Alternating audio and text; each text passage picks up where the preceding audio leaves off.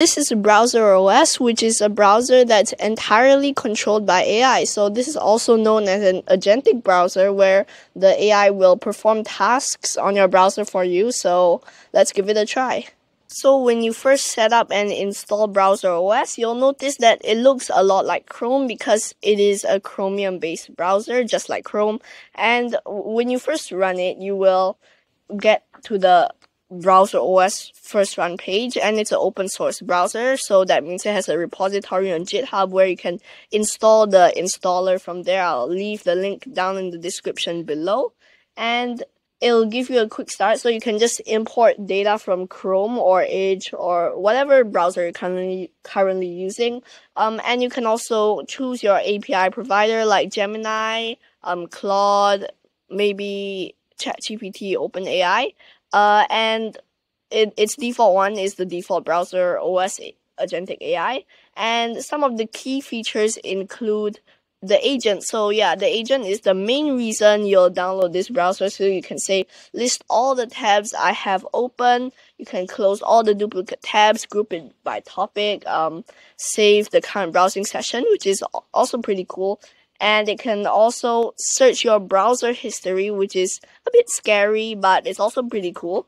Um, and you can also have a browser OS navigator, which can um, perform tasks for you. So you can say, uh, go to Google and search for a pizza restaurant nearby, or you can even say, go to Twitter and post maybe hello world or something. So yeah, why don't we just try together? So firstly, um, you want to open a new tab page and then click agent over here. It's on the top right hand corner. And then you can just start typing something to an agent. So say something like um, tweet a message on X saying thanks for a 129 subs subs guys and yes, I really appreciate you for subscribing. So just click that little button down there. So first it'll analyze how complex the task is and then it'll follow step by step. So um, navigate to x.com, log into X if not already logged in, but I'm already logged in. So you want to find the tweet composition area. So check the document page and find this little box over here and it clicked it and then now it's gonna compose the tweet. As you can see task number four its status is trying to do it ah over there and then now it just have to find the button to post the tweet. Is it gonna do it for me? Because usually this doesn't work. Okay click the element post button no, it, it hasn't. I have to do it myself. But yeah, you get the main idea of how Browser OS agent works. But other than this agent, there's also much more to Browser OS. And yeah, I'll say completed. So let's just post it. Thanks for 129 subs, guys. Thanks for 100. Yeah, so as you can see, Browser OS can make some mistakes. It duplicated my text. Now I look like I'm having mental issues, um, or my typing skills are just horrible. But let's check out the other features.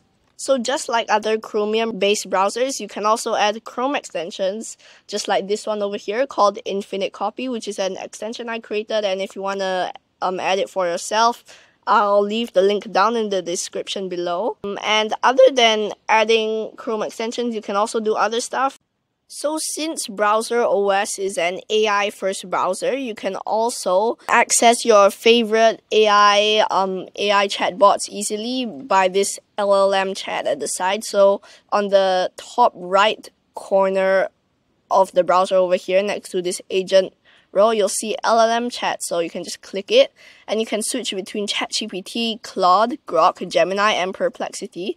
So you have like five choices of AI agents. Um, and it's really convenient because you know sometimes how you want to do you want to copy and paste code from Gemini or Claude into something else well now yeah you can easily do it from the sidebar which is pretty cool and also you can access an LLM hub which I think just um, opens three AIs at the same time. I'm not too sure about the purpose for this. It's called Clash of GPTs. Uh, I, I really don't know what this is for. And that's about it for the AI features. I mean, there, there might be more. You can just go to the settings page. You also have Browser OS AI, so you can choose what provider you want. So Browser OS, OpenAI, Anthropic, Gemini, or Ollama. Ollama, what's Ollama? I, I, I think Ollama is it? Oh, it's Qwen. I, I think it's just a lot of other AI stuff into one API key. Um, but yeah, do note that if you need, if you want to use other AIs, you need to provide your own API key. So yeah, this pretty much wraps up Browser OS, which is basically a free alternative to Perplexity's Comet, which costs $200. I don't know if you're willing to pay that much. But other than those LLM chat, LLM hub, and agent, um, it's really just another one of those Chromium browsers. And I don't think the LLM hub one is that useful because, but I, I can see the use for LLM chat if you want to quickly have a quick conversation with one of your favorite AI chatbots. And Agent is um, a game, game changer, which is the primary reason why you'll download Browser OS 4. Actually, you can use the agent on any other browser. But yeah, that pretty much wraps up the entire browser. So thank you guys for watching. Um, please like and subscribe, and I'll see you guys in the next one. Bye, guys.